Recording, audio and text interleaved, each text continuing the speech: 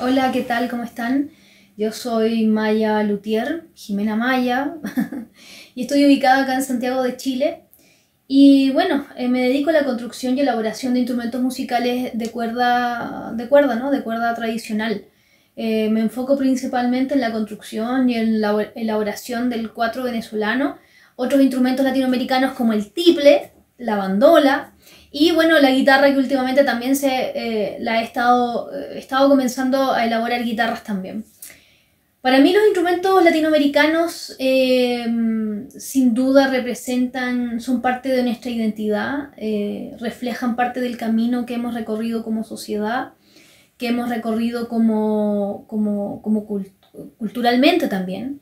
Y, y, eso se refleja en el resultado de los instrumentos que podemos tener hoy en día.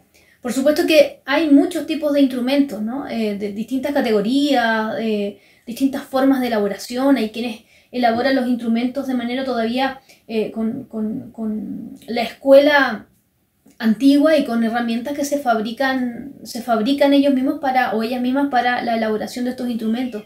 Eh, y ya vemos otros que, si bien hemos pasado por ahí, hemos ido sumando a nuestro proceso de elaboración, de construcción y de creación eh, la tecnología que tenemos eh, a disposición. Aunque, bueno, yo soy una amante de, del trabajo manual, me gusta mucho la, la parte manual que uno le, le, adhiere al instrumento. Desde el punto de vista de, la, de qué, qué le aporta uno a, a, la, a, la, tradición o al... Bueno, yo creo que uno va sumando a, ese, a esa búsqueda eh, de la belleza y de la, de la sonoridad y eso se refleja en el tiempo, ¿no? Eh, en, el resultado de los instrumentos que uno, que uno llega a elaborar.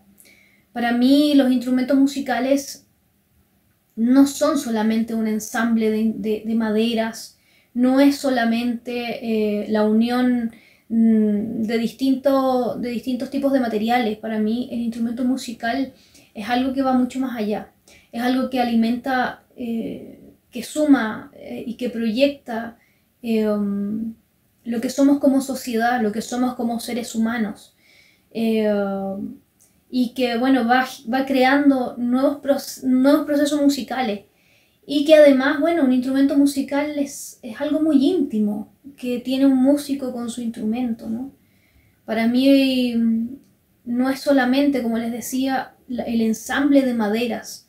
Para mí un instrumento musical es un puente del alma, que se conecta intrínsecamente con eso más íntimo que, que, que, que, tiene un músico para sacar desde lo más profundo de su ser. Y eso es un instrumento musical, un puente del alma, un puente del alma que, um, que transmite cosas, que dice cosas, que nos emociona, eh, que nos hace reír, que nos hace llorar. Eh, y nosotros y nosotras que no, quienes nos dedicamos a esta área de, las artes, creo que, que um, no solamente tenemos esa responsabilidad y esa misión de otorgarle vida a algo que, que, um, que está de, algo inerte, sino que tenemos la misión eh, de enaltecer la mirada de alguien que ve un instrumento, un instrumento que además de sonar bien, de afinar bien, eh, que sea un instrumento, un instrumento musical que deleite, deleite la vista, que sea cómodo para las manos. Y por supuesto, cuando tienes todas esas cosas, ese conjunto, ese equilibrio, eh, por supuesto que lo demás eh, sale solo. Para mí es muy importante trabajar de la mano con la persona que va a tener uno de mis hijos porque yo no siento que, que, que fabrique, como les decía, un, una, un ensamble de, de, distintos materiales. Para mí son mis hijos. Y un hijo que va a ser el puente de, de, del alma de otra persona más, de alguien más, ¿no? Y que lo va a hacer feliz y que um, lo va a hacer sacar lo mejor de sí, de lo más profundo de su inspiración, de su, de su intimidad. Entonces, por supuesto que para mí eh, ese, ese, es uno de los grandes aportes, ¿no? Eh, no solamente a las tradiciones, sino que a esa, a esa comunión que se tiene con, con el trabajo, con la realización de, con, sí, elaboración de estos instrumentos musicales que, bueno, finalmente llegan a las manos de, los.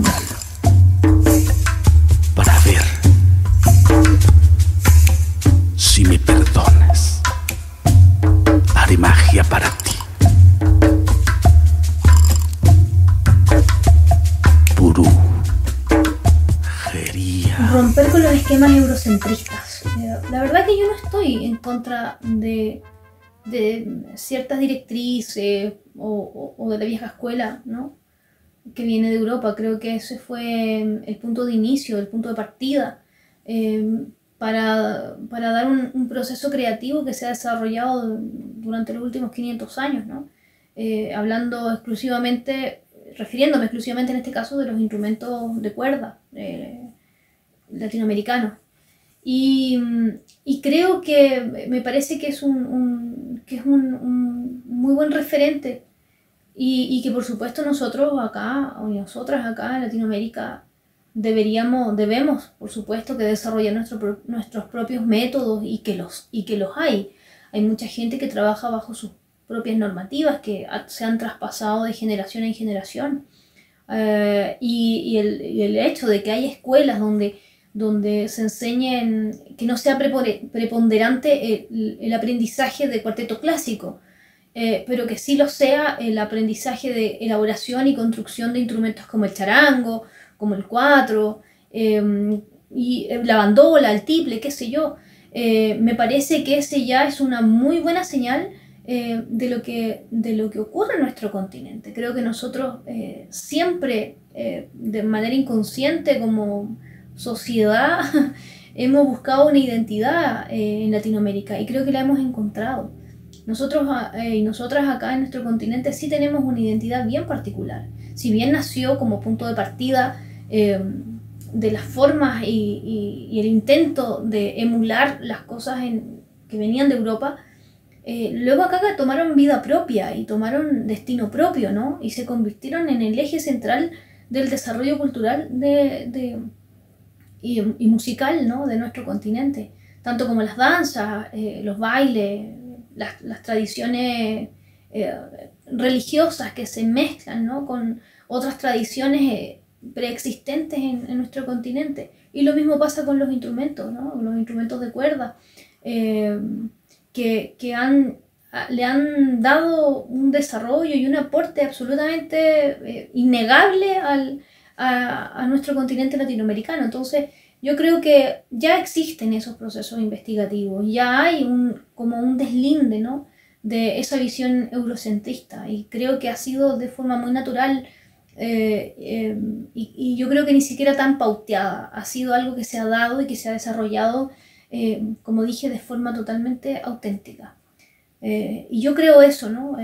Lo vemos en, en los instrumentos musicales, el- la evolución del cuatro, ¿no? El cuatro mm, viene de la gui- guitarra renacentista y, y si bien su evolución ha sido eh, considerable, eh, ha tenido, ha tomado su identidad y tiene la identidad, su identidad propia que representa este continente y que representa un- una región eh, de nuestro continente que es Venezuela y una parte también de Colombia, y, y que sin duda, o sea, ven un cuatro y, y, lo escuchan y saben de dónde viene, ven un charango, lo escuchan y saben de dónde viene.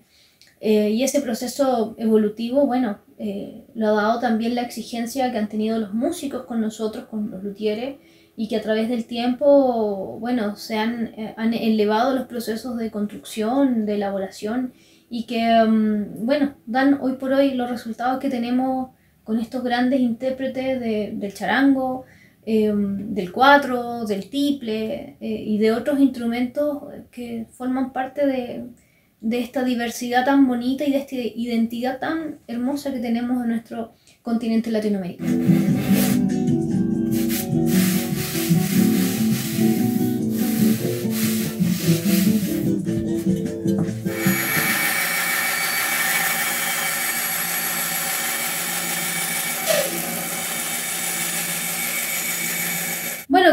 Personas con las cuales trabajo, mm, inicialmente, claro, en la relación es como de cliente ar- artesana, ¿no? y con el tiempo, bueno, se transforma en una relación más cercana de amistad. Eh, trato de no ser distante con las personas con las cuales trabajo porque lo que yo hago con la madera, lo que yo hago al momento de hacer un instrumento, como les decía antes, eh, para mí no es solamente el, ensamble de, materiales, para mí eh, los instrumentos musicales son mis hijos, los hijos que nacen de mis manos, eh, mis hijos sonoros, son un puente del alma, entonces claro, por supuesto que hay una relación cercana y, y para mí es importante establecer una relación cercana con la persona que va a tener uno de mis hijos. Entonces, claro, hay, hay sugerencias que sí son viables, otras que quizás no tanto, pero por lo general em, yo trato de, mediar un poco ahí, de ceder eh, en algo cuando es viable, porque hay cosas que definitivamente no se pueden hacer o que yo no, no hago por tiempo, qué sé yo. Pero sí es viable, por supuesto, pero trato en lo posible de que el instrumento sea el, sea el producto total de, mi imaginación, de, lo que, de lo que nace de acá. Para, mí los instrumentos no son todos iguales, aunque en apariencia se vean todos iguales. Los instrumentos musicales, eh, como los seres humanos, ¿no? Nos vemos a contraluz, todos nos vemos iguales, pero cuando nos acercamos tiene, tenemos cosas que nos hacen diferentes y que nos diferencian. Para mí, mis, niños es lo mismo. Eh, entonces, a cada uno de ellos trato de imprimirles algo eh, en la roseta, en la forma de la paleta, en el diseño que los haga únicos, e irrepetibles y que lo puedas reconocer en cualquier parte.